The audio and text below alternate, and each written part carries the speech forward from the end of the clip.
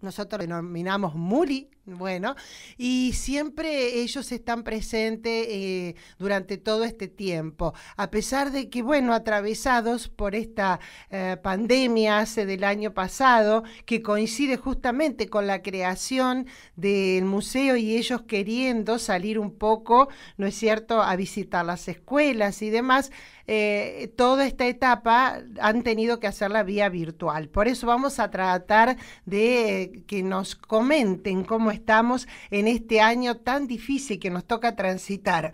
Está en línea Judith Rodríguez, ella es integrante del Museo Mori, le damos los muy buenos días. Bienvenida Judith, ¿cómo estás? Hola Miriam y Claudio, ¿cómo están?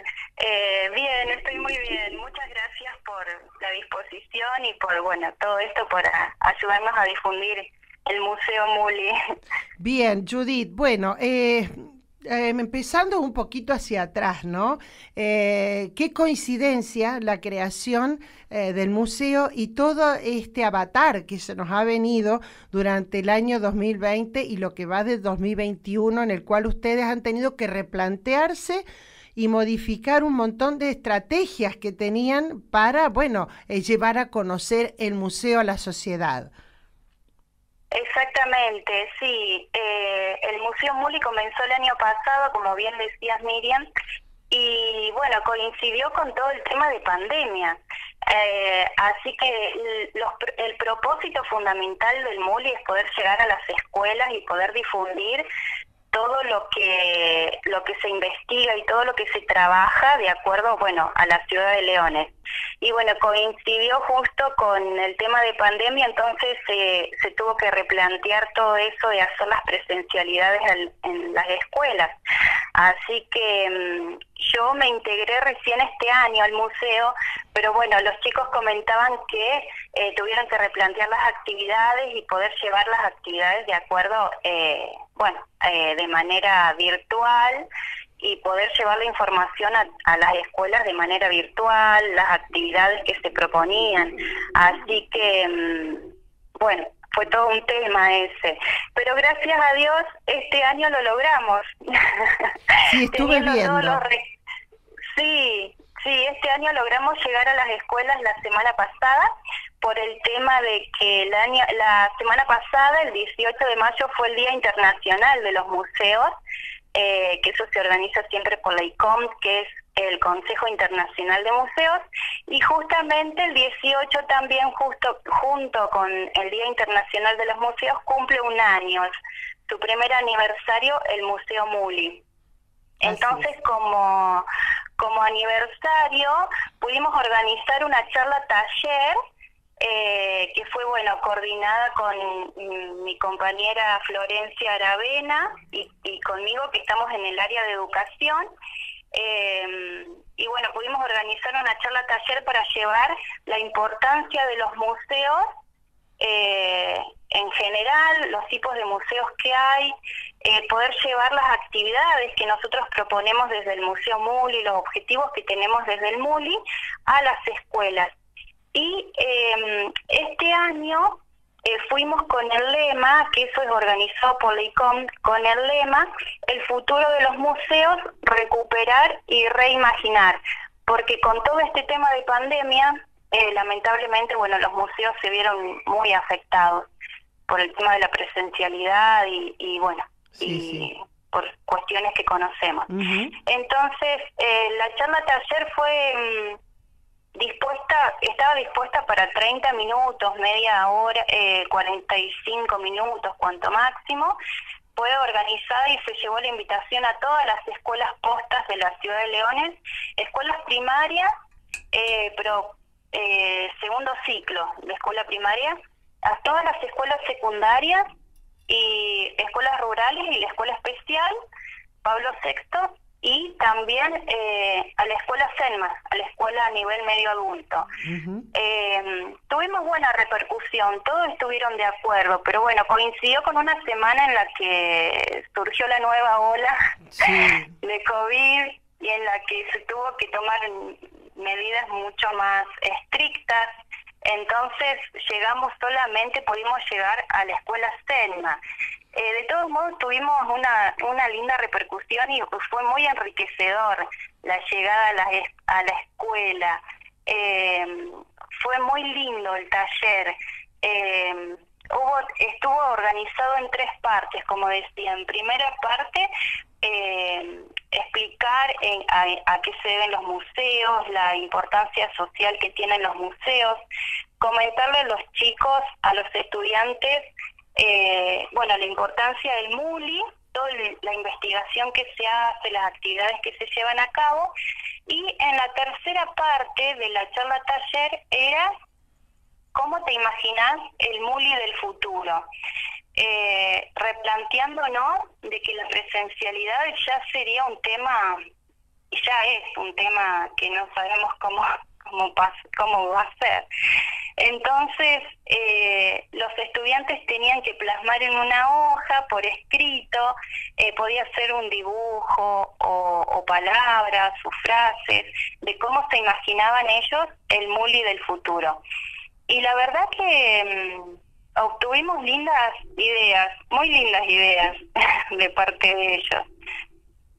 Está buenísimo esto, Judy, porque es cierto, eh, vamos a tener que tener en todos los órdenes de la vida un replanteo a partir de ahora, porque bueno, eh, nunca sabemos cuándo volvemos a tener una situación como la actual. Entonces debemos estar preparados, porque lamentablemente en esta instancia nos tomó a todos desprevenidos. Tal cual, sí, tal cual. De todos modos, eh, vale aclarar que el museo, que el MULI, no tiene un, lugar físico, una estructura física por el momento, por ahora. Sí se están planificando, se está evaluando, eh, porque bueno, hay todo un tema de colecciones de objetos que estos tienen que estar guardados, resguardados. Y bueno, las chicas de colecciones conocen mucho más, pero eh, con el de la luz, un lugar que bueno que no haya humedad, entonces se está replanteando de ver conseguir un lugar físico. Nosotros por el momento estamos trabajando y todos los posteos se hacen eh, por redes sociales, que nos pueden encontrar por Facebook, Instagram, por YouTube y Twitter. O sea que estamos eh, manejándonos con redes, por el momento dando a conocer todo el trabajo del museo eh, por medio de las redes sociales. y bueno, y la idea es poder llegar a las escuelas. Hemos llegado, como regalo de aniversario hemos podido llegar, eh, y ahora replantearlo de manera virtual. Para junio, julio ya tendríamos que estar llegando nuevamente a las escuelas. Se va a volver a llevar la invitación, pero ya de manera virtual, eh, previa reunión de equipo para ver cómo, cómo se organiza y cómo lo, lo manejamos a esto. Eh, claro, es que justamente es así. Bueno, eh, la verdad que uno ah, este, tiene la esperanza de que dentro de unos meses, antes de que finalicen las clases, eh, nuevamente se pueda hacer mm. contacto con el alumnado, ir a los colegios, que es lo, la importancia también de, de, ver la reacción que van a tener con estos talleres los chicos, por ejemplo, del secundario o los del nivel eh, inicial, el nivel em, primario, que a veces ellos con, sus imagina con su imaginación este, dan muy buenas ideas. Sí, tal cual. Hemos tenido muy lindas ideas. Eso después se va a ir posteando eh, por medio de Facebook, Instagram. Eh, se van a ir subiendo eh, todos los trabajos de los chicos. Eh, esa, bueno, ese fue el lema, digamos, es, es, el lema internacional, ¿no es cierto? Por eso nosotros nos acoplamos a, a lo que es internacional, digamos, de, con respecto a los museos, con la misma consigna. Es decir, el futuro de los museos, entonces nosotros la consigna de los para los estudiantes era cómo te imaginas el MULI del futuro. Eh, la verdad, sí, la verdad que ellos tienen muchas más ideas con respecto a la tecnología, viste que uno es como que, sí, tal le, cual. le cuesta, le cuesta, pero bueno, eh, hay que readaptarse. Hay que reinventarse. Esto no, nos, nos eh, obliga a la reinvención. Eh, Judith, ¿y ustedes ya están pensando en alguna actividad, algo para el año próximo, por ejemplo? Se termina tan rápido el tiempo que ya hay que estar pensando a futuro. Eh, Sí, siempre, eh, bueno, hay muchas, muchas actividades propuestas. Este año teníamos muchísimas también, pero bueno, eh, fue como, tuvimos que poster dejar de lado algunas efemérides, como priorizar algunas, Eh, no porque una sea más importante que la otra, sino por una cuestión de tiempo, eh, porque todo requiere un tiempo y esto realmente es un trabajo de investigación, o sea que no es que busco en, en internet a ver qué efeméride es, sino que es todo un trabajo de investigación de la ciudad de Leones.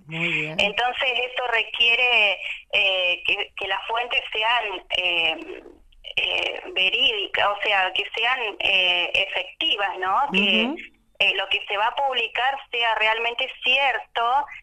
no de que bueno me pareció y lo escuché sino que bueno es todo un trabajo de investigación que requiere tiempo y bueno y la verdad que eh, para hacerlo hay que hacerlo bien, entonces eh, hay cosas que se fueron postergando, que se fueron, eh, bueno, priorizando algunas y, bueno, hay mucho trabajo, hay mucho trabajo por hacer. Hay mucho, nosotros, o sea, esto se dio a conocer, digamos, salió a luz, pero de trasfondo hay mucho trabajo de equipo, reuniones, investigación, eh, eh, de hablar con uno, con otro, de buscar, leer, mucho, mucho trabajo. Así que bueno, eh, realmente es un trabajo de equipo, realmente es un trabajo de equipo. Y sí, eh, Judith, porque aparte eh, el trabajo de investigación y que hecho con seriedad, uno tiene que ir a la fuente. Y por allí, en un, cuando hablamos de historia, las fuentes más fidedignas muchas veces ya no están que son las que uno podría consultar. Entonces se hace mucho más trabajoso todo esto.